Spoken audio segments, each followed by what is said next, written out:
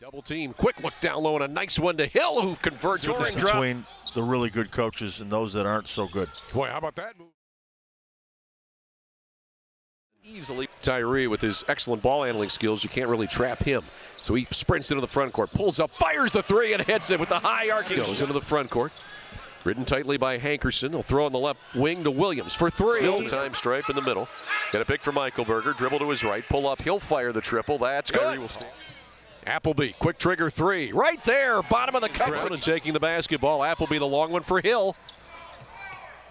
There's Jalen down low. Certainly an example of that. Here's a steal. Appleby.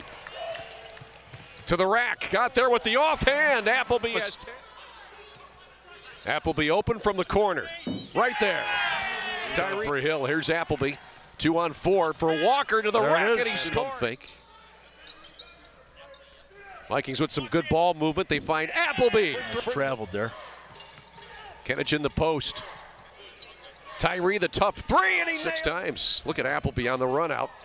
Now for Hill, and he finishes as we were checking out the good game in the corner. Tyree Move the ball. There he is. got good handles. There it is. Williams flying ahead, finding Williams. There goes another three in rhythm from the field to make up for it. Short shot clock here. Williams at the buzzer. He got all net. Here's Appleby. Down low for Hill. He got it. History. Here's Appleby. Down low for Hill. He got it. History. Look at a three. Couldn't get it. Rebound for Cleveland State. It's Appleby, his 11th today. Up to Hill. A breakaway. Kabam! Well, he left no doubt today. 19 points, 11 boards, 11 assists. What a game for Tyree Appleby and the Cleveland State Vikings as they get their second win in the Horizon League season with this victory today by a final of 78 to 60.